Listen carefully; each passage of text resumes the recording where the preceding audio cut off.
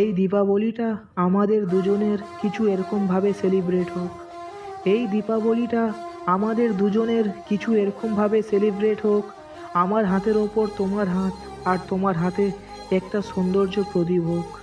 চেয়েও ভুলাতে পারব না দুজনের মধ্যে এতটা ভালোবাসা হোক। ভগবানের কাছে শুধু এটাই প্রার্থনা।